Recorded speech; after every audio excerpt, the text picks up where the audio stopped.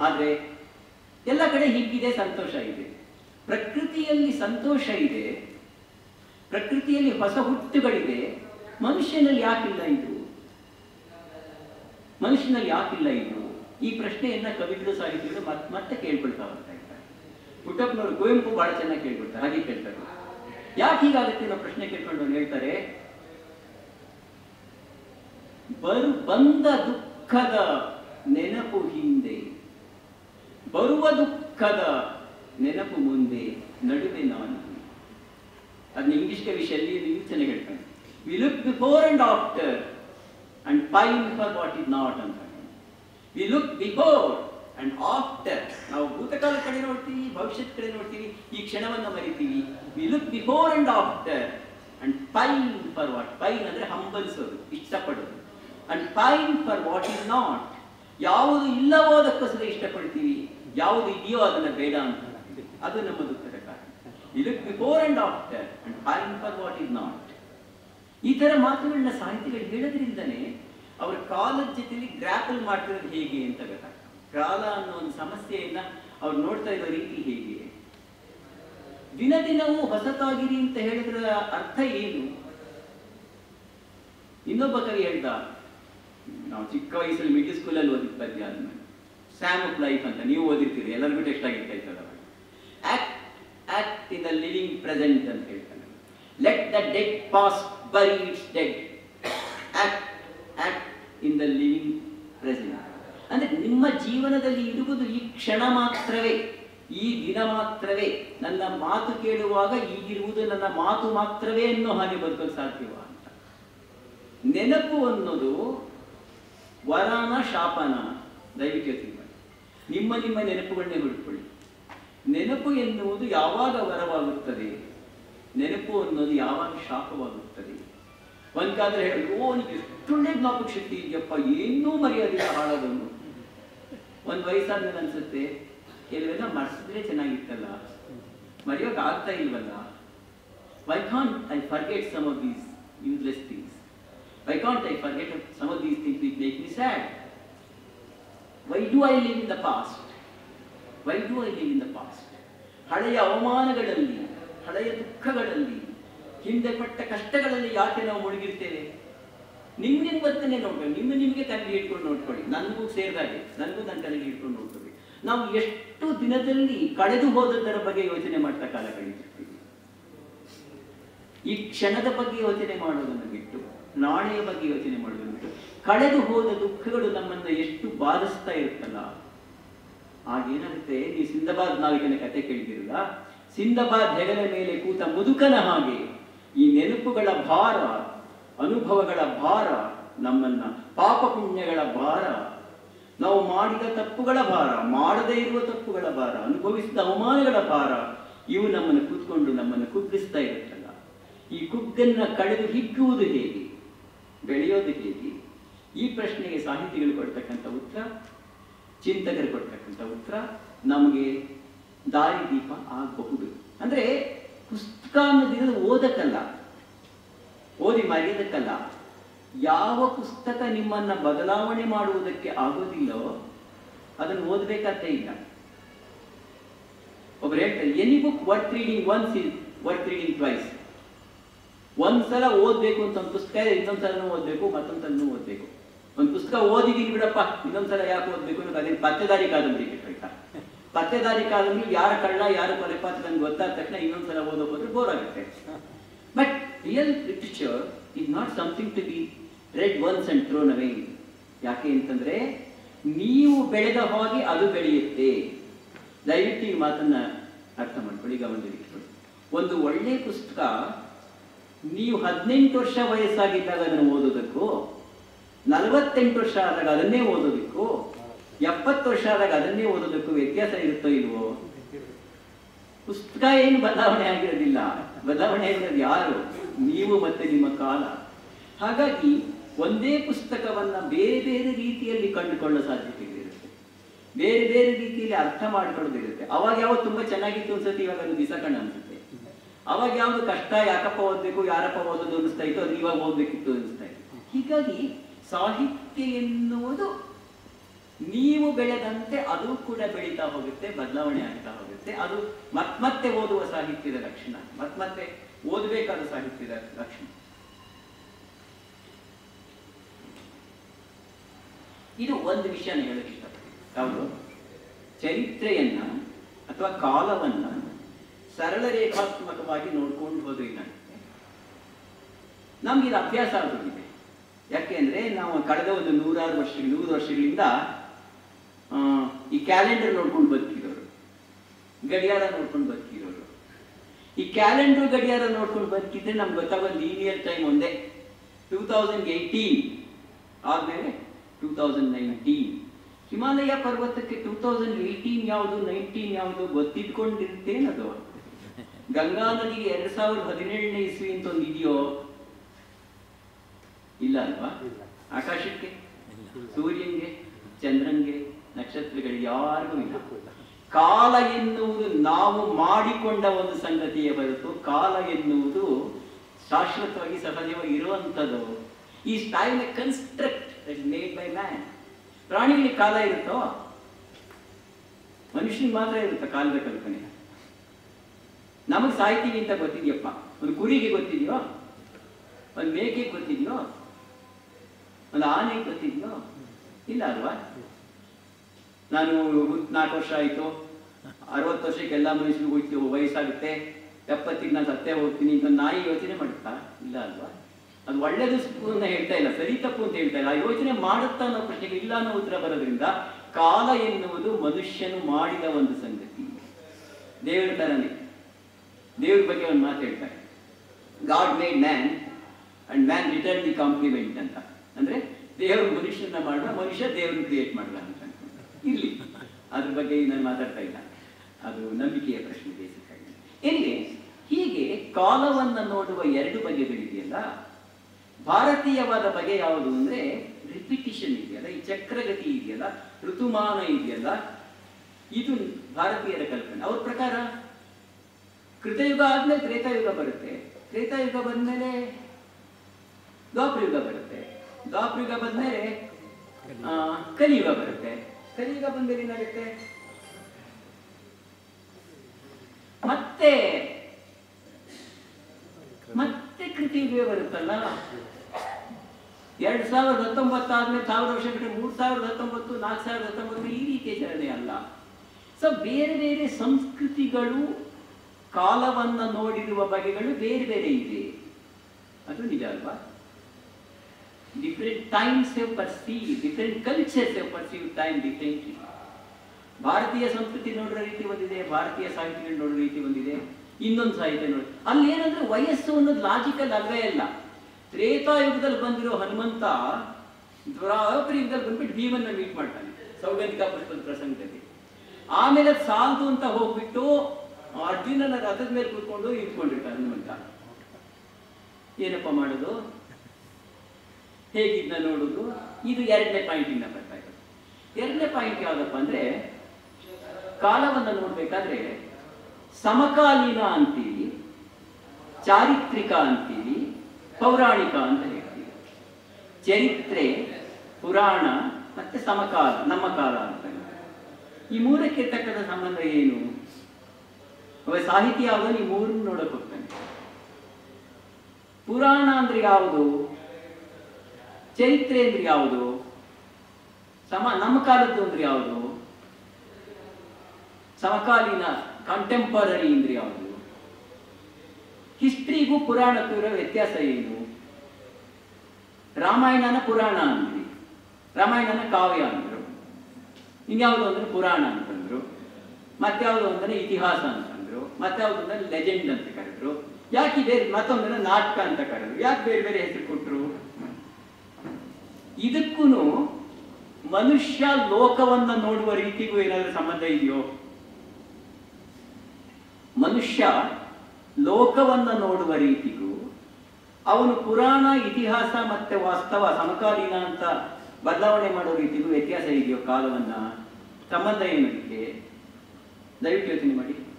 ಯಾವುದು ಮೈಥಾಲಜಿ ಯಾವುದು ಹಿಸ್ಟ್ರಿ ಯಾವುದು ಕಂಟೆಂಪ್ರರಿ ಸೊಸೈಟಿ ಇದನ್ನು ಒಬ್ಬ ಸಾಹಿತಿಯಾದವನು ಈ ಬೇರೆ ಬೇರೆ ಕಾಲಗಳನ್ನು ಹೇಗೆ ನೋಡ್ತಾನೆ? ಉತ್ತರ ಭಾರತದಲ್ಲಿರೋದು ತ್ರೇತಾಯುಗದಲ್ಲಿದ್ದ ಅಯೋಧ್ಯೆಯೋ, ಅದಾದ್ಮೇಲೆ ಅದು ಹಸ್ತಿನಾವತಿ ಬಂದು ಹೋಯ್ತೋ, ಈಗಿರೋ ಅಯೋಧ್ಯೆಯೋ, ಪುರಾಣವನ್ನ ಚರಿತ್ರೆ ಅನ್ಕೊಂಡ್ರೆ ಏನಾಗುತ್ತೆ? ಚರಿತ್ರೆಯನ್ನ ಪುರಾಣ ಅನ್ಕೊಂಡ್ರೆ ಏನಾಗುತ್ತೆ? ಚರಿತ್ರೆ, ಪುರಾಣ ಎರಡನ್ನೂ ಕೂಡ ನಮ್ಮ ಕಾಲಕ್ಕೆ ತಂದ್ಬಿಟ್ಟು ಇದು ನಮ್ಮ ಕಾಲದ ಸತ್ಯ ಅಂದ್ರೆ ಏನಾಗುತ್ತೆ? ಇವು ನಮ್ಮನ್ನ ಇವತ್ತು ಕಾಡ್ತಾ ಇರೋ ಪ್ರಶ್ನೆಗಳಲ್ವಾ? ನ್ಯೂಸ್ ಪೇಪರಲ್ಲೂ ಈ ಪ್ರಶ್ನೆಗಳು ಬರ್ತಾ ಇರುತ್ತಲ್ವಾ? ಪುರಾಣವನ್ನ ಚರಿತ್ರೆಯಾಗಿ ಮಾಡಿ, ಚರಿತ್ರೆಯನ್ನ ವರ್ತಮಾನವಾಗಿ ಮಾಡಿ, ಆ ವರ್ತಮಾನವನ್ನ ರಾಜಕೀಯವಾಗಿ ಮಾಡಿ ಎಷ್ಟೆಲ್ಲ ಆಗ್ತಾ ಇರುತ್ತಲ್ವಾ? ಇದು ಒಂದು ದೊಡ್ಡ ಪ್ರಶ್ನೆ. ಒಬ್ಬ ಸಾಹಿತಿಯಾದವನು ಈ ಚರಿತ್ರೆ, ಪುರಾಣ ಇತಿಹಾಸವನ್ನು ಕಟ್ಕೊಡ್ತಾ ಹೋದಾಗ ಲೋಕವನ್ನ ಹೇಗೆ ನೋಡ್ತಾನೆ ಅವನು ಅಂತ ಲೋಕ ಹೇಗೆ ಬದಲಾವಣೆ ಈಗ ನೋಡಿ, ನೀವು ನಮ್ಮ ಕಾಲವನ್ನ ನೋಡಿ ಅದ್ರ ಬಗ್ಗೆ ಬರಿಬೇಕಾದ್ರೆ,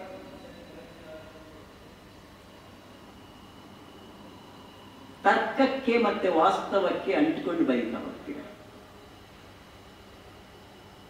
ಸಿದ್ದರಾಮಯ್ಯನವರಿಗೆ ಕೊಂಬಿದೆ ಅಂತ ನೀವು ಬರೆಯೋಕ್ಕಾಗಲ್ಲ. ಅಲ್ವಾ? ಯಾವುದೋ ಬರ ರಾಜಕ ವಿಜಯ ಮಲ್ಯ ಅವರು ದಿನಕ್ಕೆ ಇಪ್ಪತ್ತು ಬಂಡಿ ಅನ್ನ ತಿಂತಾರೆ ಅಂತ ಹೇಳೋಕ್ಕಾಗಲ್ಲ. ಆದ್ರೆ ಬಕಾಸುರ ಹನ್ನೆರಡು ಬಂಡಿ ಅನ್ನ ತಿಂತಿದ್ದ ಜೊತೆಗೆ ಆ ಬಂಡಿ ಹೊಡ್ಕೊಂಡು ಬಂದ ಸಾರಥಿನೂ ತಿಂತ ಇದ್ದ, ಎತ್ತು ತಿಂತ ಇದ್ದ. ಆ ಬಂಡಿ ಹೊಡ್ಕೊಂಡು ಎತ್ತುಗಳು ತಿಂತ ಇದ್ದ. ಇನ್ನೂ ಬೇಕು ಅಂತ ಇದ್ದ. ಬಕಾಸುರನ ಬಗ್ಗೆ ಬರೆದವರು ವಿಜಯ ಮಲ್ಯ ಅಂತವ್ರ ಬಗ್ಗೆನೂ ಬರೀತಿದ್ದಾರೋ? ಬರೀ ಬಕಾಸುರನ ಬಗ್ಗೆ ಬರೀತಿದ್ದಾರೋ? ಚರಿತ್ರೆನೂ ನೋಡಿ. ಚರಿತ್ರೆಯನ್ನು ಕೂಡ ನೀವು ಸ್ವಲ್ಪ ಮಟ್ಟಿಗೆ ವಾಸ್ತವ ಕಟ್ಟಿಕೊಂಡಿರ್ಬೇಕಾಗುತ್ತೆ ನೀವು ರಾವಣನಿಗೆ ಹತ್ತು ತಲೆ ಇತ್ತು ಅಂದ ಹಾಗೆ ಅಕ್ಬರ್ಗೆ ಇಪ್ಪತ್ತು ತಲೆ ಇತ್ತು ಅಂತ ಬರೆಯೋಕ್ಕಾಗಲ್ಲ. ಯಾಕೆಂದ್ರೆ ಅಕ್ಬರ್ ನೀವು ಚರಿತ್ರೆ ಅನ್ಕೋತೀರಾ ನೀವು ಅಂದ್ರೆ ನೀವು ಅಂತಲ್ಲ. ಜನರಲ್ ಒಟ್ಟಿನಲ್ಲಿ ಸೊಸೈಟಿ ಅಥವಾ ರೈಟ್ ಚರಿತ್ರೆ ಅನ್ಕೋತೀರಾ ರಾವಣನ ಪುರಾಣ ಅನ್ಕೋತೀರಾ ಪುರಾಣ ವಾಸ್ತವವನ್ನು ನೋಡೋದು ಹೇಗೆ ಹಾಗಾದ್ರೆ? ಪುರಾಣನ ಹೆಂಗೆ ಹನುಮಂತ ಸಮುದ್ರ ಅರ್ಧ ಅಂತೀರಪ್ಪ ಇವತ್ತು ಇನ್ಯಾರೋ ಒಬ್ಬರು ನಮ್ಮ ಇಂಡಿಯಾ ದೇಶದ ಜನರಲ್ ಇದಾರಲ್ಲ ಅವ್ರು ಎಷ್ಟು ಶಕ್ತಿಶಾಲಿ ವಿಮಾನನೇ ಬೇಡ, ಹಾಕೊಂಡು ಓಡಾಡ್ತಿದ್ದ ಆಕಾಶದಲ್ಲಿ ಯಾರಿಗೂ ಹೇಳಲ್ಲ ನಾನು. ಎಂತ ದೊಡ್ಡ ಪರಾಕ್ರಮಿಯಾದರೂ ಕೂಡ ಏರೋಪ್ಲೇನಲ್ಲೇ ಹೋಗ್ಬೇಕಾಗುತ್ತೆ, ಹಾಕೊಂಡು ಹೋಗ್ಬೇಕಾಗಲ್ಲ. ಬಟ್ ಹನುಮಂತ ಹಾರದ ನೀವು ನಂಬ್ತೀರಲ್ಲ, ಹೇಗೆ ನಂಬ್ತೀರಾ? ಪುರಾಣವನ್ನು ನಾವು ನೋಡುವ ಬಗ್ಗೆ ಹೇಗೆ? ಚರಿತ್ರೆಯನ್ನು ನೋಡುವ ಬಗ್ಗೆ ಹೇಗೆ? ವರ್ತಮಾನವನ್ನು ನೋಡುವ ಬಗ್ಗೆ ಹೇಗೆ? ಇದು ಕಟ್ಕೊ, ಯಾಕೆ ಮಾಡ್ತಾರೆ ಸಾಹಿತ್ಯ ಹಾಗೆ?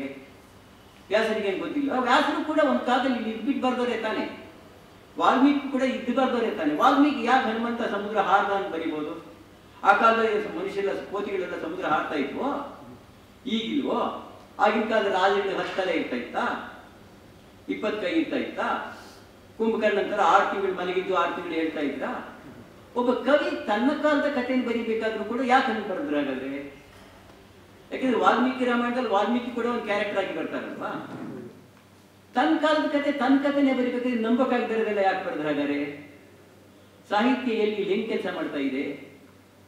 ಇದು ನೀವು ದಿನ ದಿನ ಓದೋ ಪ್ರಶ್ನೆಗಳಿಗೆ ಉತ್ತರ ಕಂಡ್ಕೋಬೇಕಾಗ್ತದೆ ಏನಾಗುತ್ತೆ? ಅಡಿಗರಿಗೊಂದು ಉತ್ತರ ಕೊಡ್ತಾರೆ. ರಾವಣನ ಹತ್ತಲೆ ಅಂತ ಹೇಳ್ತೀರಲ್ಲ, ಅವ್ರು ಹೇಳ್ತಾರೆ, ಕತ್ತಲೆಗೆ ಹತ್ತೆ ತಲೆ ನೂರು ಸಾವಿರ, ಅದು ಅಸಂಖ್ಯ ಅಂತ ಹೇಳ್ತಾರೆ.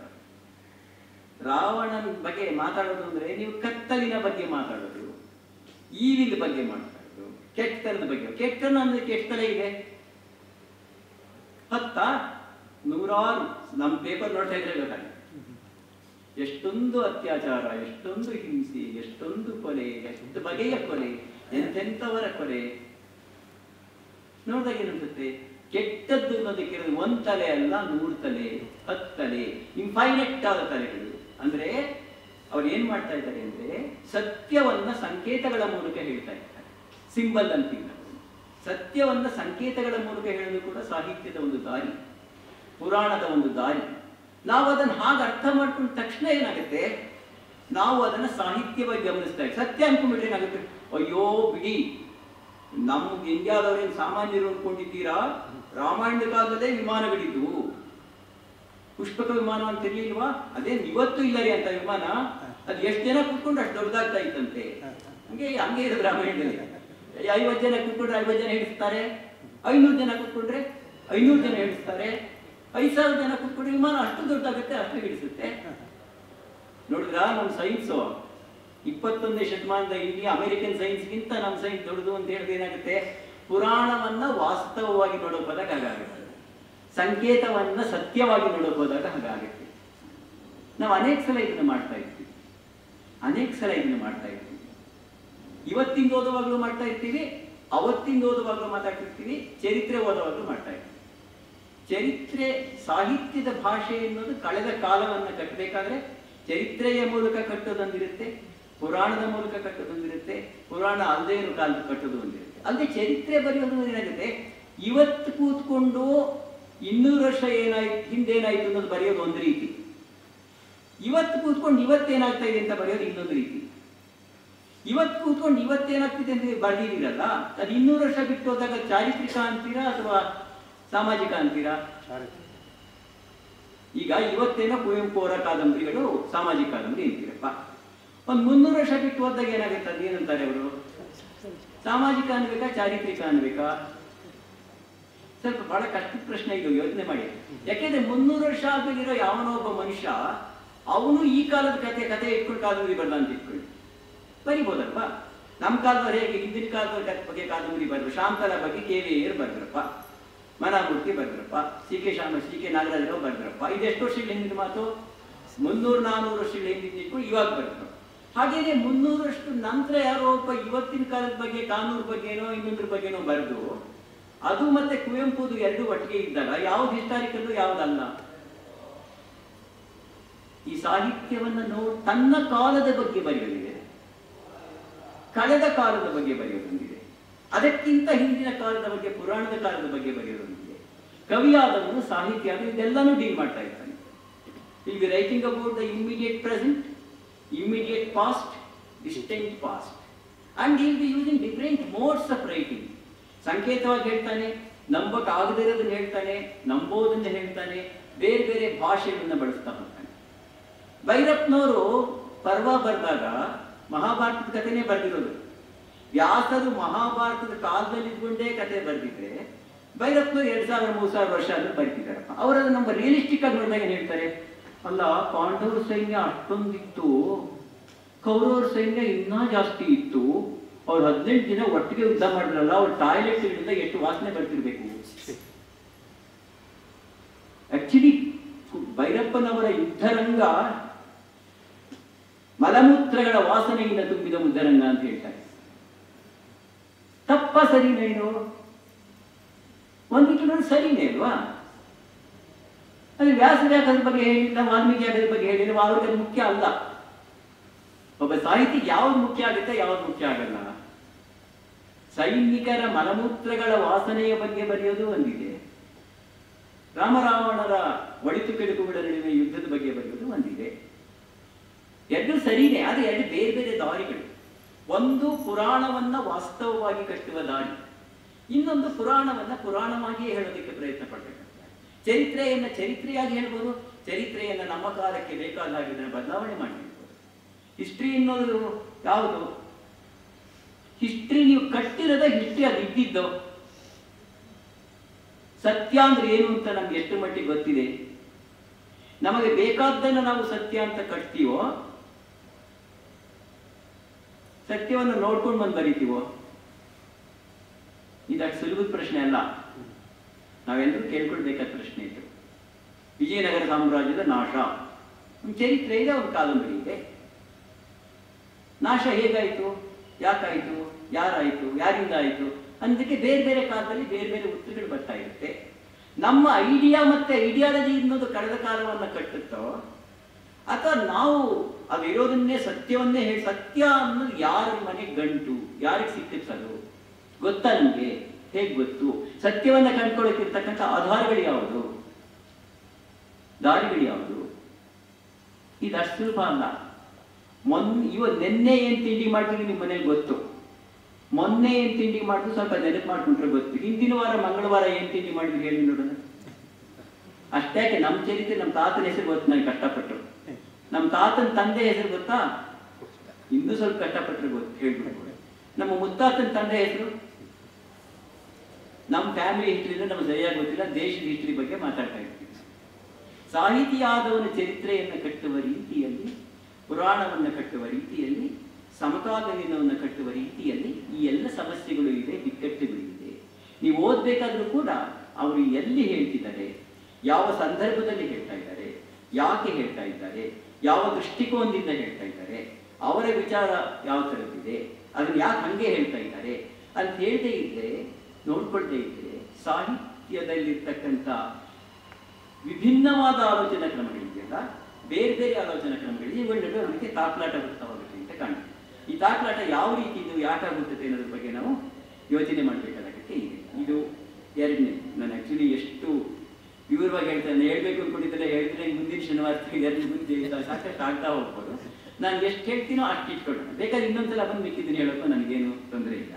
ಯಾಕೆಂದ್ರೆ ಹೇಳೋದನ್ನ ನಾನು ಸ್ವಲ್ಪ ವಿವರಿಸಿ ಹೇಳ್ತಾ ಹೋಗ್ಬಿಟ್ರೆ, ತುಂಬಾ ಕಂಡೆನ್ಸ್ ಮಾಡಿ ಹೇಳ್ತಾ ಹೋಗ್ಬಿಟ್ರೆ ಅದು ಕಮ್ಯುನಿಕೇಟ್ ಆಗೋದಿಲ್ಲ. ಅದಕ್ಕೆ ನಾನು ಸ್ವಲ್ಪ ಎಕ್ಸಾಂಪಲ್ಸ್ ಕೊಟ್ಬಿಟ್ಟು ಸ್ವಲ್ಪ ಹಿಗ್ಗಿಸಿ ಹೇಳ್ತಾ ಇದ್ದೆ ಆಮೇಲೆ ಇನ್ನೊಂದು ನಾ ಅದನ್ನು ತನ್ನ ಕಾಲಕ್ಕೆ ಸಿಕ್ಕಿ ಬೀಳುವ ಕವಿಗಳು ಮತ್ತು ಮೀರುವ ಕವಿಗಳು ಅಂತ ಎರಡು ಭಾಗ ಮಾಡ್ಕೊಳ್ತೀವಿ ಸಾಹಿತಿಗಳು ಕವಿ ಸಾಹಿತಿ ಇಟ್ಕೊಳ್ಳಿ ನಾವು ಯಾರಿಗೋಸ್ಕರ ಬರೀತಿದ್ದೀವಿ ಒಬ್ಬ ಕವಿ ಮುಖ್ಯವಾಗಿ ಕೇಳ್ಕೊಳ್ಬೇಕಾದ ಪ್ರಶ್ನೆ.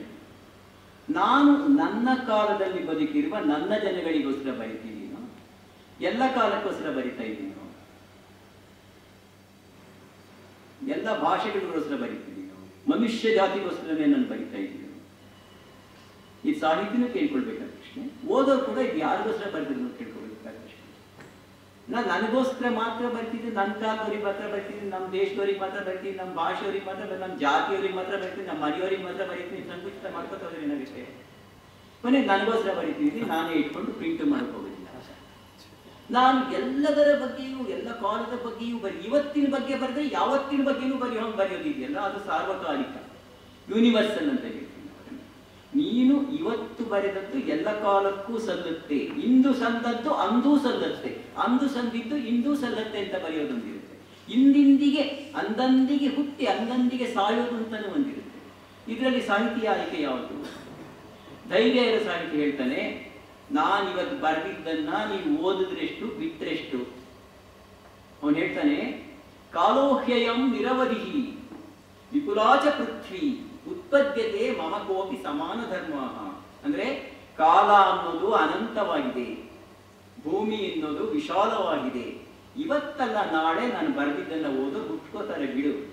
ನೀವು ಓದದೇ ಇದ್ರೆ ಕತ್ತೆ ಬಾಲ ಹೋಯ್ತು ಅಂತ ಹೇಳೋದಂತೆ ಇಲ್ಲಿದ್ರೆ ಅಯ್ಯೋ, ನಾನು ಇವತ್ತು ಬರೆದಿದ್ದು ನಮ್ಮ ಫ್ರೆಂಡ್ಸ್ ಎಲ್ಲ ಓದದೇ ಇದ್ರೆ ಏನಪ್ಪ ಗತಿ?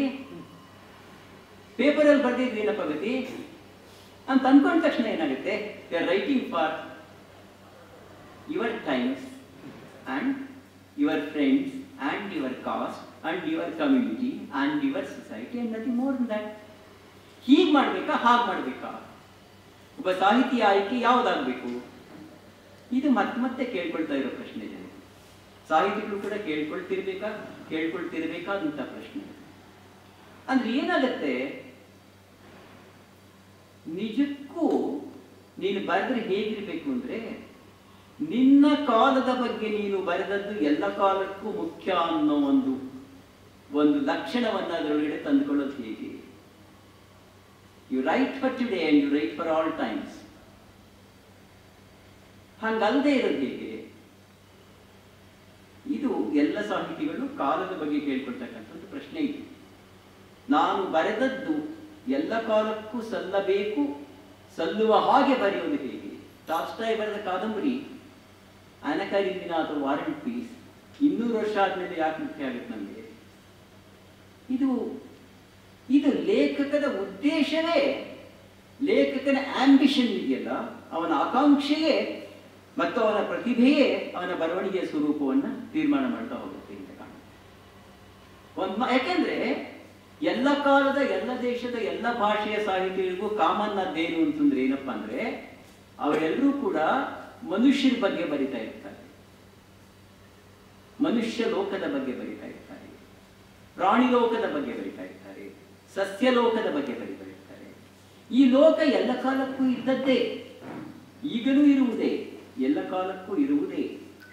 ಹಾಗಾದಾಗ when you are writing about man mankind you are writing for all times when you are writing about a particular segment of society you are writing for your times and your times alone ಇದು ದೊಡ್ಡ ಒಂದು ಬಿಕ್ಕಟ್ಟಿ. ಅದನ್ನ ಹೇಗದನ್ನ solve ಮಾಡೋದು? ನಿನ್ನ ಕಾಲದ ಬಗ್ಗೆ ಬರೆದು, ನಿನ್ನ ಬಗ್ಗೆ ಬರೆದು ಕೂಡ ನೀನು ಎಲ್ಲದರ ಬಗ್ಗೆ ಬರೆಯುವಾಗ ಹಾಗೆ ಮಾಡೋದಕ್ಕೆ ಬೇಕಾದಂತಹ ಒಂದು ದೃಷ್ಟಿಕೋನ ಇದೆಯಲ್ಲ, ಅದನ್ನ ಕುವೆಂಪು ಅವರು ಬಹಳ ಚೆನ್ನಾಗಿ ಹೇಳ್ತಾರೆ ಅಂತ ಕಾಣುತ್ತೆ. ಅವರು ಯಾವುದೇ ಬರವಣಿಗೆಯಲ್ಲಿ ಬದುಕಿನಲ್ಲಿ ಮೂರು ಲಕ್ಷಣಗಳನ್ನು ಹೇಳ್ತಾರೆ. ಸರ್ವೋದಯ ಸಮನ್ವಯ ಮತ್ತೆ ಪೂರ್ಣ ದೃಷ್ಟಿ ಅಂತ ಮೂರು ಮಾತು ಮಾಡ್ತಾರೆ ಅದು ನೆನ್ಪಿಟ್ಕೊಳ್ಳೋದ್ರ ಬಗ್ಗೆ ಯೋಚನೆ ಮಾಡ್ತಾರೆ ಸರ್ವೋದಯ, ಅಂದ್ರೆ ಒಬ್ಬ ಮನುಷ್ಯ, ಲೋಕದ ಎಲ್ಲ ಮನುಷ್ಯರ ಬಗ್ಗೆಯೂ ಆಲೋಚನೆ ಮಾಡೋದು ಹೇಗೆ? ಎಲ್ಲ ಮನುಷ್ಯರನ್ನು ಬೆಳೆಸುವುದು ಹೇಗೆ? ಅವಳು ಹೇಗೆ? ಒಂದು ಪ್ರಯಾಣದ ವಿಕಾಸದ ದಾರಿ ಇದೆಯಲ್ಲ ಆ ದಾರಿಯಲ್ಲಿರುವ ಎಲ್ಲರನ್ನೂ ನನ್ನವರು ಅಂತ ಅನ್ಕೊಳ್ಳೋದು ಹೇಗೆ? ಸಾಹಿತಿಗೆ ಎಲ್ಲರೂ ಅವನವರೇ ಸಾಹಿತಿಗೆ ಹೊರಗಿನವರು ಯಾರೂ ಇರಲ್ಲ. ಸಾಹಿತಿಗೆ ಸಾಹಿತ್ಯ ರಚನೆ ಮಾಡಬೇಕಾದ್ರೆ ಶತ್ರುಗಳಿರಲ್ಲ. ಸಾಹಿತಿಗೆ ಶತ್ರುಗಳಿರಬಾರದು. ಯಾಕೆಂದ್ರೆ ಸಾಹಿತಿಯಾದವನು ಯಾವಾಗಲೂ ಕೂಡ ಪರಕಾಯ ಪ್ರವೇಶ ಮಾಡೋದಷ್ಟೇ ಅಲ್ಲ ಪರ ಮನಪ್ರವೇಶ ಮಾಡ್ತಾರೆ ಈ ಪರ ಮನಪ್ರವೇಶ ಅನ್ನೋದು ಬಹಳ ಮುಖ್ಯವಾಗಿ ನಾನು ನಿಮ್ಮ ಮನಸ್ಸಿನೊಳಗಡೆ ಹೋಗಿ ಅಲ್ಲಿ ನಿಜವಾಗ್ಲೂ ಏನ್ ನಡೀತಿದೆ ಅಂತ ಕಂಡುಕೊಂಡ್ರೆ ನನಗೆ ನಿಮ್ಮ ಬಗ್ಗೆ ಪ್ರೀತಿ ಬರುತ್ತೆ ಹೊರತು ದ್ವೇಷ ಬರುತ್ತೆ, ಬರಬಾರ್ದು. ಮತ್ತೆ ಯಾಕಂಗಾಗ್ತಾ ಇದೆ? ನೀವು ಯಾಕೆ ಹೀಗಾದಿರಿ ಎನ್ನುವುದಕ್ಕೆ ಕಾರಣಗಳೇನು? ನೀವೇ ಕಾರಣವ, ಲೋಕ ಕಾರಣವ. ಅಂದಾಗ ಸಾಹಿತಿ ತಾನು ಸೃಷ್ಟಿಸುವ ಲೋಕವನ್ನು ಪ್ರೀತಿಸುತ್ತಾನೆ. ಇದು ಸರ್ವೋದಯದ ಕಲ್ಪನೆ. ಪೂರ್ಣ ದೃಷ್ಟಿ ಅನ್ನೋದು ಅದೇ. ಪೂರ್ಣ ದೃಷ್ಟಿ ಏನ್ ಮಾಡುತ್ತೆ? ಇದು ಕಾಲವನ್ನು ಗಮನದಲ್ಲಿಟ್ಕೊಳ್ಳುತ್ತೆ, ದೇಶವನ್ನು ಗಮನದಲ್ಲಿಟ್ಕೊಳ್ಳುತ್ತೆ. ಯಾವುದೇ ಸತ್ಯವನ್ನ ಅರ್ಧಂಬರ್ಧ ನೋಡಿದ್ರೆ ಅದು ಅಸತ್ಯವೇ ಆಗಿರುತ್ತೆ. ಪೂರ್ತಿ ನೋಡೋಕೆ ಹೋದ್ರೆ ಅವಾಗ ನಿಜವಾಗ್ಲೂ ಸತ್ಯ ಸಿಗುತ್ತೆ. ಹೆಣ್ಣು ಮಕ್ಕಳ ಪರವಾಗಿ ಬರೆಯುವವರು, ಹೆಣ್ಣು ಮಕ್ಕಳೆಲ್ಲರೂ ಒಳ್ಳೆಯವರು ಮಿಕ್ಕವರೆಲ್ಲ ಗಂಡಸರೆಲ್ಲ ಕೆಟ್ಟವರು ಅಂತ ಬರೆದ್ರೆ ಏನಾಗುತ್ತೆ? ಇದು ಅಂಶದೃಷ್ಟಿ. ಒಂದು ಒಂದು ಗುಂಪಾಗಿ ಹೆಣ್ಣು ಮಕ್ಕಳನ್ನ ಪುರುಷರು ಶೋಷಣೆ ಮಾಡ್ತಾ ಬಂದಿದ್ದಾರೆ ಅಂತ ಹೇಳುವುದು ಒಂದು ಸಾಮಾಜಿಕ ಸತ್ಯ ಆಗುತ್ತೆ ಆದ್ರೆ ನೀ ಕತೆ ಬರಿಬೇಕಾದ್ರೆ ಕಾದಂಬರಿ ಬರಿಬೇಕಾದ್ರೆ ನೀನು ಸೃಷ್ಟಿಸುವ ಎಲ್ಲ ಹೆಣ್ಣು ಪಾತ್ರಗಳು, ಒಳ್ಳೆಯವರು ಎಲ್ಲ ಗಂಡು ಪಾತ್ರಗಳು, ಕೆಟ್ಟವರು ಚಿತ್ರಿಸುವ ಸತ್ಯವೋ, ಸತ್ಯದ ವಿಕೃತಿಯೋ? ದಲಿತರು ಬರೆಯಪ್ಪದಾಗ ಏನಾಗುತ್ತೆ? ಇನ್ಯಾರೋ ಬರೆಯಪ್ಪದಾಗ ಏನಾಗುತ್ತೆ?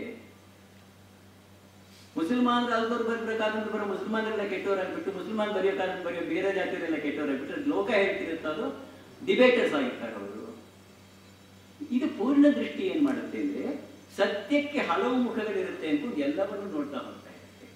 ಮತ್ತು ಸಮನ್ವಯ ಅನ್ನೋದು ಮೂರನೇ ಮಾತು ಹೇಳ್ತಾರೆ ನಾವು ಯಾವುದನ್ನು ಯಾವುದನ್ನು, ಅದರ ಜೊತೆಗಿರುವುದನ್ನು ಒಟ್ಟಿಗೆ ನೋಡಿಬಿಟ್ಟು ಪರಸ್ಪರ ವಿರೋಧವಾದಕ್ಕೂ ಕೂಡ ಒಟ್ಟಿಗೆ ಬದುಕುವ ಹಕ್ಕಿದೆ. ಇದು ಸಹಿಷ್ಣುತೆ. ಪರಸ್ಪರ ವಿರುದ್ಧವಾದಕ್ಕೂ ಒಟ್ಟಿಗೆ ಬದುಕುವ ಹಕ್ಕಿದೆ. ನಾನು ಹೇಗೆ ಬದುಕಬೇಕು ಎಂದು ಹೇಳುವುದಕ್ಕೆ ನನಗೆ ಹೇಗೆ ಹಕ್ಕಿದೆಯೋ, ತಾನು ಹೇಗೆ ಬದುಕಬೇಕು ಅಂತ ಹೇಳೋದಕ್ಕೆ ಅವನಿಗೂ ಕೂಡ ಹಕ್ಕಿದೆ. ಇದು ಪೂರ್ಣ ದೃಷ್ಟಿಯಾದರೆ ಈ ಪೂರ್ಣ ದೃಷ್ಟಿ, ಸಮನ್ವಯ, ಸರ್ವೋದಯ, ಈ ಮೂರು ಪರಿಕಲ್ಪನೆಗಳು ನಿಜವಾದ ಸಾಹಿತಿಗೆ ಒಳಗಡೆ ಎಲ್ಲೋ ಇರುತ್ತೆ ಅಂತ ಕಾಣುತ್ತೆ. ಈ ಅನುಕಂಪ ಮತ್ತೆ ಪ್ರೀತಿ ಇಲ್ಲದ ಸಾಹಿತ್ಯ ಸರ್ವಕಾಲ ಶಾಶ್ವತವಾದ ಸಾಹಿತ್ಯ ಆಗೋದಕ್ಕೆ ಸಾಧ್ಯವೇ ಇಲ್ಲ. ಒಂದು ಮಾತು ಹೇಳ್ತಾನೆ ಸೊಫೋಕ್ಲೆಸ್ ಒಬ್ಬ ನಾಟಕಕಾರ ಹೇಳ್ತಾನೆ, ಗ್ರೀಕ್ ನಾಟಕಕಾರ. ಯೋಚನೆ ಮಾಡಿ ಕಾಲ್ ನೋ ಮ್ಯಾನ್ ಹ್ಯಾಪಿ ಅಂತ call no man happy till he dead call no man happy till he dead ಯಾಕೆಂದ್ರೆ ಸಂತೋಷವಾಗಿದ್ದೀನಿ ಅನ್ನೋ ಮನುಷ್ಯನಿಗೂ ಮುಂದಿನ ಕ್ಷಣ ಏನಾಗ್ಬೋದು ಗೊತ್ತಿಲ್ಲ. ಸಂತೋಷವಾಗಿದ್ದಾನ ಅವನು ಅಂತ ನಾವು ಅಂತಿರ್ತೀವಿ, ಅವನು ಸಂತೋಷಕ್ಕೆ ಕಾಸು, ಎಷ್ಟು ಸಂತೋಷ, ಎಂತ ಸಂತೋಷ. ಒಂದೊಂದು ಕುಟುಂಬದ ದುಃಖವೂ ಒಂದೊಂದು ಬಗೆಯದು. ಒಬ್ಬೊಬ್ಬ ಮನುಷ್ಯನ ದುಃಖವೂ ಒಂದೊಂದು ಬಗೆಯದು. ಹೆಂಗಿದ್ದ ಹೆಣ್ಣು ಮಾಡೋದು ಒಬ್ಬ ಸಾಹಿತಿಯಾದವನಿಗೆ ಈ ಪ್ರೀತಿ ಅನುಕಂಪಗಳಿರೋದ್ರಿಂದಲೇ ಅವನು ತನ್ನ ಕಾಲವನ್ನ ತನ್ನ ದೇಶವನ್ನ ತನ್ನ ಭಾಷೆಯನ್ನ ಮೀರಿ ನಮ್ಮವನಾಗ್ತಾವ ಇದು ಪ್ರೀತಿ ಅನುಕಂಪ ಪ್ರೀತಿ ಆಗ್ಬಿಡುತ್ತೆ ಅಂತ ಅದಕ್ಕೊಂದು ಪ್ರತಿಭೆ ಕೂಡ ಬೇಕಾಗುತ್ತೆ. ಅದ್ರ ಬಗ್ಗೆ ನಾನು ನೆಕ್ಸ್ಟ್ ಮಾತಾಡ್ತಾ ಹೋಗ್ತೀನಿ. ಇಲ್ಲಿ ಏನಾಗುತ್ತೆ? ಬರವಣಿಗೆ ಇದೆಯಲ್ಲ ಇದು ಎರಡನೇ ಭಾಗ ಆಗ್ತದೆ ಒಂದೊಂದು ಇನ್ನೊಂದು ಹತ್ತು ಹದಿನೈದು ನಿಮಿಷ ಮಾತಾಡ್ಬೋದು ಸರ್. ಹನ್ನೆರಡು ನಿಮಿಷ. ಈಗ ಹನ್ನೆರಡು ಇಪ್ಪತ್ತು ಹನ್ನೆರಡುವರೆ ತನಕ. ಸರಿ. ಬರವಣಿಗೆ ಅನ್ನೋದಕ್ಕೆ ಮಾಧ್ಯಮ ಭಾಷೆ ಅಂತ ನೀವು ಯಾವ ಶಿಲ್ಪದ ಬಗ್ಗೆ ಯೋಚನೆ ಮಾಡಬೇಕಾದ್ರೂ ಕಲ್ಲಿನ ಬಗ್ಗೆ ಇರಬೇಕು. ಕಲ್ಲು, ಲೋಹ, ಮರ ಮತ್ತೊಂದು ಬೇಕಲ್ವಾ? ಅದೊಂದು ಮೀಡಿಯಂ ಸಂಗೀತಕ್ಕೆ ನಾದ ಮಾಧ್ಯಮ. ಹಾಗೆಯೇ ಸಾಹಿತ್ಯಕ್ಕೆ ಯಾವುದು ಮಾಧ್ಯಮ? ಭಾಷೆ. ಭಾಷೆ ಇಲ್ಲದೆ ಸಾಹಿತ್ಯ ಸೃಷ್ಟಿ ಸಾಧ್ಯ ಇಲ್ಲ. ಒಂದು ಸಿಂಪಲ್ ಆದ ವಿಷಯ. ಕಥೆಯಲ್ಲಿ ಪದ್ಯ ಇರಲಿ ಕಾದಂಬರಿ ನಾಟಕ ಇರಲಿ ಕಾದಂಬರಿ ಇರಲಿ ಯಾವುದೇ ಇರಲಿ ಭಾಷೆ ಇಲ್ಲದೆ ಸೃಷ್ಟಿಯಾಗಕ್ಕೆ ಸಾಧ್ಯ ಇಲ್ಲ. ಆ ಭಾಷೆಯನ್ನು ನಾನು ನೀವು ಮಾತಾಡೋ ಭಾಷೆನೋ ಅಥವಾ ಬದಲಾವಣೆ ಆಗೋ ಭಾಷೆನೋ? ದಯವಿಟ್ಟು ಯೋಚನೆ ಮಾಡಿ. ಕಲ್ಲು ಅನ್ನೋದು ಇದೆಯಲ್ಲಪ್ಪ ಒಂದು ಕಲ್ಲು ತಗೊಂಡ್ರೆ ಆ ಕಲ್ಲು ಬೆಂಗಳೂರಿನ ಆನಂದರಾವ್ ಸರ್ಕಲ್ ತೋರಿಸಿದ್ರು ಕಲ್ಲೇನೆ. ನೀವು ಬೆಳಗಾವಿ ತಗೊಂಡೋಗಿ ತೋರಿಸಿದ್ರು ಕಲ್ಲೇನೆ. ಪ್ಯಾರಿಸ್ ತಗೊಂಡೋಗಿ ತೋರಿಸಿದ್ರು ಕಲ್ಲೇನೆ ಕಲ್ಲು ಕಲ್ಲಾಗೆ ಇರುತ್ತೆ ಬದಲಾವಣೆ ಆಗೋದಿಲ್ಲ. ಭಾಷೆ? ಕನ್ನಡ ಭಾಷೆ ಅನ್ನೋದು ಹಾಗೆ ಇದೆಯೋ, ಸಾವಿರ ವರ್ಷದಿಂದ ಪಂಪನ ಕಾಲದ ಭಾಷೆನೇ ಬೇರೆ, ಕುಮಾರವ್ಯಾಸನ ಕಾಲದ ಭಾಷೆನೇ ಬೇರೆ, ಬಸವಣ್ಣವ್ರ ಕಾಲದ ಭಾಷೆನೇ ಬೇರೆ, ನಮ್ಮ ಕಾಲದ ಭಾಷೆನೇ ಬೇರೆ, ಇನ್ನೊಂದು ಕಾಲದ ಭಾಷೆನೇ ಬೇರೆ. ಹೋಗಿ ಒಂದೇ ಕಾಲ ತಗೊಂಡ್ಬಿಡೋಣಪ್ಪ. ಗುಲ್ಬರ್ಗದಲ್ಲಿ ಮಾತಾಡೋ ಕನ್ನಡನೇ ಬೇರೆ, ಚಾಮರಾಜನಗರದಲ್ಲಿ ಮಾತಾಡೋ ಕನ್ನಡನೇ ಬೇರೆ, ಬಸವನಗುಡಿಲಿ ಮಾತಾಡೋ ಕನ್ನಡನೇ ಬೇರೆ ಬಸವನಗುಡಿನೇ ತಗೊಂಡ್ಬಿಡೋಣಪ್ಪ. ಬ್ರಾಹ್ಮಣರ ಮನೇಲಿ ಮಾತಾಡೋ ಕನ್ನಡನೇ ಬೇರೆ, ಗೌಡರ ಮನೇಲಿ ಮಾತಾಡೋ ಕನ್ನಡ ದಲಿತರ ಮನೇಲಿ ಮಾತಾಡೋ ಸೊ ಈ ಭಾಷೆ ಅನ್ನೋ ಮಾಧ್ಯಮ ಇದೆಯಲ್ಲ, ಎಷ್ಟೊಂದು ಚಂಚಲವಾದ್ದು ಅಂದ್ರೆ, ಎಷ್ಟೊಂದು ಬದಲಾವಣೆ ಆಗೋದು ಅಂದ್ರೆ, ಎಷ್ಟೊಂದು ಬೇರೆ ಬೇರೆ ಆಗೋದು ಅಂದ್ರೆ ಯಾವುದು ಕನ್ನಡ? ಕೇಳ್ಬೇಕು ಕನ್ನಡ ಅಂದ್ರೆ ಯಾವುದು?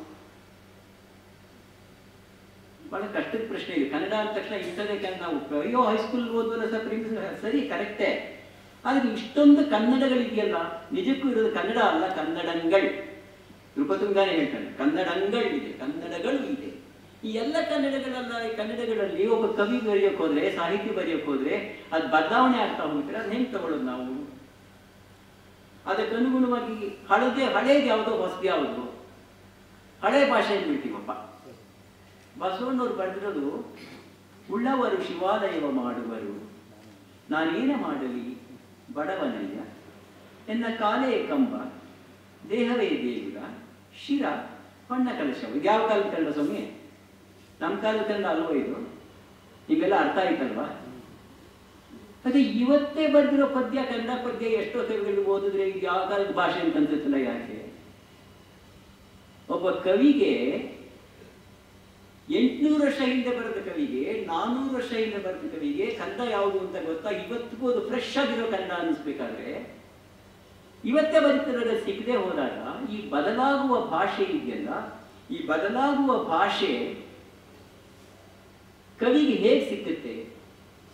ಅಥವಾ ಭಾಷೆ ಬದಲಾದ್ರೂ ಕೂಡ ಅವನು ಕಮ್ಯುನಿಕೇಟ್ ಮಾಡೋದು ಹೇಗಾಗುತ್ತೆ? ಪಂಪ ನೋಡಿ ಸ್ವಾಮಿ, ಮನುಷ್ಯ ಜಾತಿ ತಾನೊಂದೇ ವಲಂ. ಮನುಷ್ಯ ಜಾತಿ ಒಂದೇ ಅಲ್ವಾ? ಸಾವಿರ ವರ್ಷ ಇದು ಬರೆದು. ಇವತ್ತಿಗೂ ಅರ್ಥ ಆಗುತ್ತೆ. ಪ್ರಜಾವಾಣಿ ನಾಳೆ ಭಾನುವಾರ ತಾನೆ, ಪ್ರಜಾವಾಣಿ ಬರೋ ಪದ್ಯ ಒಂದ್ಸಲ ಓದ್ಬಿಟ್ಟು ಏನು ಅರ್ಥ ಆಯ್ತು ಅಂತ ಹೇಳಿ. ಎಷ್ಟು ಸಲ ಅರ್ಥವೇ ಆಗಿರಲ್ಲ. ಹೀಗಾಗಿ ಕವಿಗೆ ಸಿಕ್ಕುವ ಭಾಷೆ ಯಾವುದು? ನಿಜವಾಗ್ಲೂ ದೊಡ್ಡ ಕವಿ ಆ ಕಾಲದಲ್ಲಿ ಬರೆದ ಈ ಕಾಲದ ಬರೆದ ಕನ್ನಡ ಅನ್ನೋಂಗೆ ಬರೀತಾನಲ್ಲ, ಹೇಗೆ ಬರೀತಾನೆ? ಭಾಷೆಯನ್ನ ತನ್ನ ಕಾಲದ ಭಾಷೆಯನ್ನ ನೀರು ಹಾಗೆ ಮಾಡ್ತಕ್ಕಂಥ ಶಕ್ತಿ ಕವಿ ಹೇಗಿರುತ್ತೆ, ಹೇಗೆ ಬರುತ್ತೆ? ಇದು ಒಂದು ಪ್ರಶ್ನೆ. ಹಳೇದು ಹೊಸದು ಅನ್ನೋದು ಇಲ್ಲವೇ ಇಲ್ಲ ಭಾಷೆ ಒಳಗಡೆ. ಭಾಷೆಯ ಹೃದಯವನ್ನು ಹಿಡಿದ ಕವಿಗೆ ಎಲ್ಲ ಕಾಲವೂ ಹೊಸ ಕಾಲವೇ, ಎಲ್ಲ ಕಾಲವೂ ಹೊಸ ಕಾಲ. ಬೇಂದ್ರೆ ಬರೆದದ್ದು ಇನ್ನೂರು ವರ್ಷ ಬಿಟ್ಟು ಹೋದ್ರು, ಇನ್ನೂರು ವರ್ಷ ಬಿಟ್ಟು ನೋಡಿದ್ರು ನಮ್ಮ ಕಾಲದ ಕನ್ನಡನೇ ಕೇಂದ್ರಿಸ್ತಾ ಇರುತ್ತೆ ಹಾಗಾಗಿ ಯಾವ ದೊಡ್ಡ ಕವಿ ಏನ್ ಮಾಡ್ತಾನೆ, ಈ ಬದಲಾಗುವ ಭಾಷೆಯ ಬದಲಾಗದ ಭಾಗಗಳನ್ನು ಹಿಡಿತಾ ಹೋಗ್ತಾನೆ ಬದಲಾಗುವ ಭಾಷೆಯ ಬದಲಾಗದ ಕೇಂದ್ರವನ್ನು ಹಿಡಿತಾ ಹೋಗ್ತಾನೆ. ದೇವು ಮಹಾದೇವ ಅವರು ಸಂಬಂಧ ಅನ್ನೋದು ದೊಡ್ಡದು ಕಣ ಅಂತ ಬರೀತಾರೆ. ಸಂಬಂಧ ಅಂತ ಸಂಬಂಧ ಅನ್ನೋದು ದೊಡ್ಡದು ಕಣ. ಯಾವತ್ತಿ ಸುಳ್ಳಿದು, ಯಾವತ್ತಿ ನಿಜ ಇದು? ಎಲ್ಲ ಕಾಲಕ್ಕೂ ನಿಜ, ಎಲ್ಲ ಕಾಲಕ್ಕೂ ನಿಜ ಅಂತ ಇದು ಯಾವತ್ತೂ ಸುಳ್ಳು ಅಲ್ವಾ ಯಾರು ಹಿಂಗೆ ಸಾರ್ವಕಾಲಿಕವಾದ ಸತ್ಯವನ್ನು ಹಿಡಿತಾರೆ ಅವರಿಗೆ ಸಾರ್ವಕಾಲಿಕವಾದ ಭಾಷೆ ಕೂಡ ಸಹಜವಾಗಿ ಸಿಗ್ತಾ ಅಕ್ಮಹಾದೇವಿ ಯಾವಾಗಲೂ ಬಂತು. ನಂಗೆ ಬಹಳ ಇಷ್ಟವಾದ ವಚನ ಇದು.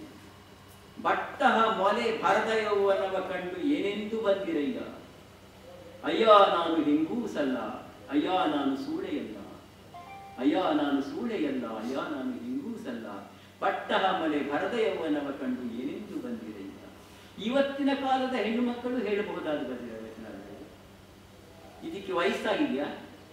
ವಯಸ್ಸಾಗಿದೆಯಾ? ನಿಜವಾದ ಸಾಹಿತ್ಯಕ್ಕೆ ವಯಸ್ಸು ಆಗೋದಿಲ್ಲ ಕಾಲನ್ನು ಕಳೆಯೋದಿಲ್ಲ. ಯಾಕೆಂದ್ರೆ ಆ ಕವಿಗಳು ಭಾಷೆಯ ಹೃದಯವನ್ನು ಹಿಡಿತಾರೆ. ಹಂಗಂದ್ರೆ ಅವ್ರ ತರನೇ ನಾವು ಯಾಕೆ ಬರ್ಕೊಂಡು ಹೋಗ್ಬಾರ್ದು?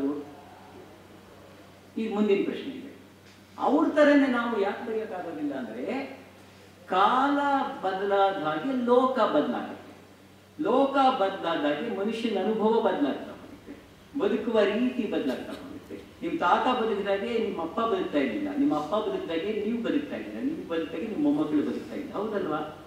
ನಿಮ್ಮ ಮೊಮ್ಮಕ್ಕಳ ಲೋಕ ಬೇರೆ, ನಿಮ್ಮ ಲೋಕ ಬೇರೆ, ನಿಮ್ಮ ತಾಯಿ ತಂದೆಗಳ ಲೋಕ ಬೇರೆ, ನೀವು ಒಟ್ಟಿಗೆ ಬದುಕಿದ್ರು ಬೇರೆ ಬೇರೆ ನಿಮ್ಮ ಮನೇಲಿ ನೋಡಿ. ನಿಮ್ಮ ಮನೇಲಿ ಹದಿನೈದು ವರ್ಷ, ಹದಿನೆಂಟು ವರ್ಷ ಹುಡುಗ ಹುಡುಗಿರು ನೋಡಿ, ನಿಮ್ಮ ಬದುಕನ್ನ ನೋಡ್ಕೊಳ್ಳಿ. ಅಂದ್ರೆ ಎಲ್ಲ ಕಾಲಗಳು, ಕಾಲ ಬದಲಾಗ್ತಾ ಇದ್ದಾಗ ಬದಲಾಗೋದನ್ನ ಹಿಡಿಯೋದಕ್ಕೆ ಬದಲಾಗುವ ಭಾಷೆ ಬೇಕಾಗುತ್ತೆ. ಬದಲಾಗುವ ಭಾಷೆ ಬೇಕಾಗುತ್ತೆ. ನಮ್ಮ ಕಾಲದ ಸತ್ಯಗಳನ್ನು ಹೇಳೋದಕ್ಕೆ ನಮ್ಮ ಕಾಲದ ಭಾಷೆ ಬೇಕಾಗುತ್ತೆ ಹೀಗಾಗಿ ಕವಿಗಿರ್ತಕ್ಕಂಥ ಒಂದು ದೊಡ್ಡ ಚಾಲೆಂಜ್ ಏನಂದ್ರೆ, ತನ್ನ ಕಾಲದ ಭಾಷೆಯಲ್ಲಿ ಬರೆದು ಎಲ್ಲ ಕಾಲವನ್ನು ಹಿಡಿಬೇಕು ತನ್ನ ಕಾಲದ ಭಾಷೆಯ ಹಾರ್ಟ್ ಏನಿದೆ? ತನ್ನ ಕಾಲದ ಭಾಷೆಯ ಹೃದಯ ಏನಿದೆ? ಅದನ್ನು ಹಿಡಿದ್ರೆ ತನಗೆ ಐನೂರು ವರ್ಷ ಬಿಟ್ಟರು ಕೂಡ ಸತ್ಯ ಅನ್ನಿಸ್ತಾ ಇದೆ ನಾನು ಕುಮಾರವ್ಯಾಸನ ತರ ಬರೀತೀನಿ ವಚನಕಾರ ತರ ಬರೀತೀನಿ ದೊಡ್ಡ ವಚನಕಾರರು ಆಗೋದಿಲ್ಲ ಈ ಕಾಲದಲ್ಲೂ ಆಗೋದಿಲ್ಲ ಒಬ್ಬ ನಿಜವಾದ ಕವಿ ಏನು ಮಾಡ್ತಾನೆ? ಹಳೇದನ್ನ ನೋಡಿ ಅಲ್ಲಿ ಏನು ಹೃದಯ ಇದೆ ಅನ್ನೋದು ಹಿಡ್ಕೊಂಡು ತನ್ನ ಕಾಲದ ಭಾಷೆ ಒಳಗಡೆ ಹೋಗಿ ಅಲ್ಲಿ ಹುಡುಕಿ ಅದರ ಹೃದಯವನ್ನು ಏರ್ಸಿದಾಗ ಅದಾಗ್ತದೆ ಇದು ಬಹಳ ಸುಲಭದ ಕೆಲಸ ಅಲ್ಲ, ಅದು ಪ್ರತಿಭೆಯಿಂದ ಆಗುವ ಕೆಲಸ ಅದು. ಮನಸ್ಸು ಮಾಡಿ ಟ್ರೈ ಮಾಡಿ ನಾನು ನಾಳೆಯಿಂದ ಟ್ರೈ ಮಾಡಿ ಅಂತ ಪದ್ಯ ಬರಿತೀನಿ ಅನ್ನೋಕ್ಕಾಗಲ್ಲ. It's something that is given to you God given ಅಂತ ಹೇಳ್ತಿಲ್ಲ ನಾನು given to it is there or it is not there ಅಷ್ಟೇ. ಒಬ್ಬ ನಿಜವಾದ ಕವಿ ಇಂಥದನ್ನು ಹಿಡಿತಾವ ಅಂದ್ರೆ ಅವನು ಭಾಷೆಯನ್ನು ಹಿಗ್ಗಿಸ್ತಾ ಹೋಗ್ತಾನೆ ಭಾಷೆಯನ್ನು ಬೆಳೆಸ್ತಾ ಲೋಕವನ್ನು ಬೆಳೆಸ್ತಾ ದಯವಿಟ್ಟು ಯೋಚನೆ ಮಾಡಿ, ಕುವೆಂಪು ಬರೆಯೋದಕ್ಕೆ ಮುಂಚೆ ಕಾದಂಬರಿ ಕಾದಂಬರಿ ಕಾದಂಬರಿಗೂ. ಕುವೆಂಪು ಬರೋ, ಕುವೆಂಪು ಹುಟ್ಟೋಕ್ ಮುಂಚೆ ಇದ್ದ ಕನ್ನಡ ಸಾಹಿತ್ಯಕ್ಕೂ, ಹುಟ್ಟಿದ ಮೇಲಿರೋ ಕನ್ನಡ ಸಾಹಿತ್ಯಕ್ಕೂ, ಬೇಂದ್ರೆ ಹುಟ್ಟೋಕ್ ಮುಂಚೆ ಇದ್ದ ಕನ್ನಡ ಸಾಹಿತ್ಯಕ್ಕೂ, ಬೇಂದ್ರೆ ಹುಟ್ಟಿದ ಮೇಲಿರೋ ಕನ್ನಡ ಸಾಹಿತ್ಯಕ್ಕೆ ಎಷ್ಟು ವ್ಯತ್ಯಾಸ ಇದೆ ನೋಡಿ. ಆ ಸಾಹಿತ್ಯಕ್ಕೆ ಅವರು ಒಂದು ಹೊಸ ಆಯಾಮವನ್ನು ಸೇರಿಸಿದ್ರು. The added a new dimension to the literature ಅದು ವಚನಕಾರದಕ್ಕೆ ಒಂದು ಸೇರ್ಕೊಳ್ತು. ಕುಮಾರವ್ಯಾಸನ ಒಂಚೂರು ಸೇರ್ಕೊಳ್ತು. ಬೇಂದ್ರೆ ಇನ್ನೊಂಚೂರು ಸೇರಿಸಿದ್ರು. ದೇಂದ್ರ ಮಹಾದೇವ ಇನ್ನು ಸ್ವಲ್ಪ ಸೇರಿಸಿ ಮುಂದೆ ಯಾರೋ ಮಹಾನುಭಾವ ಬರ್ತಾನೆ ಅವ್ರು ಇನ್ನೊಂಚೂರು ಸೇರಿಸ್ತಾ ಬರ್ತಾನೆ ಭಾಷೆ ಬೆಳೀತಾ ಹೋಗೋದು ಹೀಗೆ, ಸಾಹಿತ್ಯ ಬೆಳೀತಾ ಹೋಗೋದು ಹೀಗೆ. ತನ್ನ ಕಾಲವನ್ನ ಹಿಡಿದು, ಎಲ್ಲ ಕಾಲಕ್ಕೂ ಅದನ್ನ ಕೊಡೋದಿದೆಯಲ್ಲ, ಇದು ದೊಡ್ಡ ಕೆಲಸ. ತನ್ನ ಕಾಲವನ್ನ ಹಿಡಿದು, ಎಲ್ಲ ಕಾಲಕ್ಕೂ ಅದನ್ನ ಕೊಡ್ತಾನೆ ಇಲ್ಲಿ. ಕೊಡದೇ ಇದ್ರೆ ಏನಾಗುತ್ತೆ? ಮಾಡ್ತಾ ಹೋಗುತ್ತೆ ನೋಡಿ ಸುಮ್ಮನೆ ಯೋಚನೆ ಮಾಡಿ. ಇನ್ನೊಂದು ನೂರು ವರ್ಷ, ಯಾರು ಕತೆ ಕವನ, ಪದ್ಯ, ಕಾದಂಬರಿ ಬರಿಬಾರ್ದು ಅಂತ ಇಟ್ಬಿಟ್ಟು ಡಿಸೈಡ್ ಇಟ್ಕೊಳ್ಳಿ. ಸರ್ಕಾರದ ರೂಲ್ಸ್ ಈಗ ಸರ್ಕಾರ ರೂಲ್ ದಿನಕ್ಕೊಂದು ಸರ್ಕಾರ ಕಾನೂನು ಮಾಡ್ತಾ ಇದೆ ಅದರ ಒಂದು ಕಾನೂನು ಮಾಡಿಬಿಟ್ಟು ಈ ನೂರು ವರ್ಷ ಕನ್ನಡದಲ್ಲಿ ಯಾರು ಸಾಹಿತ್ಯ ರಚನೆ ಮಾಡದೆ ಹೋದ್ರೆ ನೂರು ವರ್ಷದ ಕನ್ನಡಿಗರ ಬದುಕು ದಾಖಲೆಯಾಗದೆ ಹೋಗುತ್ತಷ್ಟೇ. It is never be recorded ಎರಡ್ ಸಾವಿರದ ಹದಿನೆಂಟು ಇವತ್ತಲ್ವಾ ಮೂರ್ ಸಾವಿರದ ಹದಿನೆಂಟು ತನಕ ಸಾಹಿತ್ಯದಲ್ಲಿ ಏನು ಬರ್ಬಾರ್ದು ನೀವೇನಾದ್ರು ಮಾಡಿಬಿಟ್ರೆ, ಸಾಹಿತ್ಯ ಬರ್ಬಾರ್ದು ಮಾಡಿಬಿಟ್ರೆ, ಎರಡ್ ಸಾವಿರದ ಹದಿನೆಂಟರ ಮೂರ್ ಸಾವಿರದ ಹದಿನೆಂಟರವರೆಗೆ ಸಾವಿರ ವರ್ಷಗಳು ಏನು ಇಲ್ಲದ ಕತ್ತಲ ಯುಗ ಅದು. ಇಟ್ ಬಿಕಮ್ಸ್ ಡಾರ್ಕ್ ಏಜ್ ಅದಕ್ಕೇನೆ ಸಾಹಿತಿಗಳು ಏನು ಮಾಡ್ತಾರೆ ಅಂದರೆ ಕಳೆದ ಕಾಲದ ಮೇಲೆ ಬೆಳಕು ಚೆಲ್ಲುತ್ತಾರೆ, ಜೀವನವನ್ನು ದಾಖಲೆ ಮಾಡುತ್ತಾರೆ. ಆ ದಾಖಲೆಯನ್ನು ನಮಗೆ ರೆಲೆವೆಂಟ್ ಆಗಿ ಮಾಡ್ತಾರೆ ಅಂತ ಕಾಣುತ್ತೆ. ಹೀಗೆ ಬದಲಾಗ್ತಾ ಹೋಗ್ತಾ ಇರುತ್ತೆ. ಹಳಗನ್ನ ನೀವು ಓದಬೇಕು ಅಂತ ಬರ್ತೀರಾ ಬೇರೆ ಬೇರೆ ಗೋಡೆಗಳಿರುತ್ತೆ. ಒಂದು ಕಡೆ ಛಂದಸ್ಸಿನ ಗೋಡೆ ಇರುತ್ತೆ. ಒಂದು ಕಡೆ ಕಷ್ಟವಾದ ಪದಗಳ ಗೋಡೆ ಇರುತ್ತೆ. ಅರ್ಥ ಮಾಡ್ಕೊಳ್ಳೋದು ಹೇಗಪ್ಪ ಅಂತ ಅನ್ನಿಸ್ತಾ ಇರುತ್ತೆ. ಅರ್ಥ ಮಾಡ್ಕೊಳ್ಳೋಕೆ ಯಾರು ನಮ್ಗೆ ಹೆಲ್ಪ್ ಮಾಡ್ತಾರೆ ಅಂತ ಅನ್ನಿಸ್ತಾ ಇರುತ್ತೆ. ನೀವು ಪಂಪನ್ನು ಓದಬೇಕು ನಿಮ್ಗೆ ಇಷ್ಟ ಇದೆ. ಪಂಪನ್ ಪುಸ್ತಕ ನಿಮ್ಗೆ ಕೊಟ್ಬಿಟ್ಟು ಓದಪ್ಪ ಅಂತ ಹೇಳಿದ್ರೆ ಕಷ್ಟನೂ ಇದೆ. ಈ ಇಷ್ಟ ಮತ್ತೆ ಕಷ್ಟಗಳನ್ನ ಬ್ಯಾಲೆನ್ಸ್ ಮಾಡೋದು ಹೇಗೆ? ಯಾರು ಮಾಡಬೇಕು? ಸ್ಕೂಲಲ್ಲಿ ಮಾಡ್ತಾರಾ? ಕಾಲೇಜಲ್ಲಿ ಮಾಡ್ತಾರಾ? ನ್ಯೂಸ್ ಪೇಪರಲ್ಲಿ ಮಾಡ್ತಾರಾ? ಮಾಡೋದು ಯಾರು?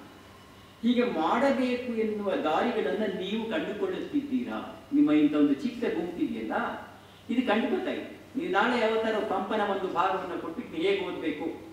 ಪಂಪನನ್ನ ಈ ಭಾಗವನ್ನು ಓದೋದು ಹೇಗೆ, ಅರ್ಥ ಮಾಡ್ಕೊಳ್ಳೋದು ಹೇಗೆ ಅಂತ ಕೇಳಿದ್ರೆ ಅರಾಮಿತ್ರ ಅವ್ರನ್ನೋ ಇನ್ಯಾರನ್ನೋ ಮತ್ತೊಬ್ಬರನ್ನ ಕೇಳಿದ್ರೆ, ಅವ್ರು ಬಂದಿಲ್ಲ ನಾವು ಓದಿ ಹೇಳಿದ್ರೆ, ಹೌದಪ್ಪ, ಹೀಗೆ ಅರ್ಥ ಮಾಡ್ಕೋಬಹುದು ಅಂತ ಗೊತ್ತಾಗುತ್ತೆ ನನಗೆ ಈ ಗೊತ್ತಾಗುವ ರೀತಿ ಇದೆಯಲ್ಲ, ಅದು ನಿಮಗೆ ಯಾವುದನ್ನ ಶಿಕ್ಷಣ ಕೊಡುತ್ತಿಲ್ಲವೋ, ಯಾವುದನ್ನ ಸಾಹಿತ್ಯಿಕ ಸಂಸ್ಥೆಗಳು ಕೊಡುತ್ತಿಲ್ಲವೋ, ಪರಿಷತ್ತು, ಅಕಾಡೆಮಿ, ಇತ್ಯಾದಿ ಇತ್ಯಾದಿ ಬೇಕಾದಷ್ಟು ಕೊಡ್ತಾ ಇಲ್ವೋ, ಅಥವಾ ಕೊಡೋದಕ್ಕೆ ಹೇಗೆ ಪ್ರಯತ್ನ ಪಡಬೇಕು, ಹಾಗೆ ಪಡ್ತಾ ಇಲ್ವೋ, ಅಂತ ಪ್ರಯತ್ನವನ್ನ ನೀವೇ ಕಂಡ್ಕೋಬೇಕಾಗುತ್ತೆ.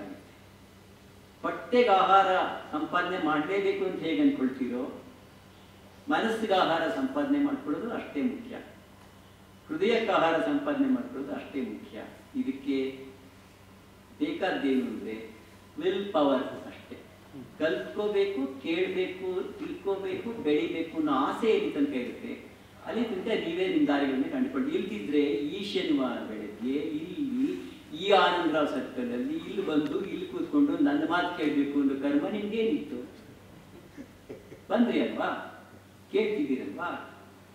ಏನೋ ಒಂಚೂರು ಏನೋ ಒಂಚೂರು ಹೇಳಿದ್ರಪ್ಪ ಅಕ್ಕ ಹೇಳ್ದಪ್ಪ ಅಂತ ಅನ್ಕೋತಿರಲ್ವಾ ಈ ಈ ಈ ಆಸೆ ಇದೆಯಲ್ಲ, ಈ ಆಸೆ ನಿಮ್ಮನ್ನ, ನನ್ನನ್ನ ಬೆಳೆಸುತ್ತೆ, ಬೆಳೆಸಲಿ ಅಂತ ನಾನು ನಂಬಿದ್ದೀನಿ.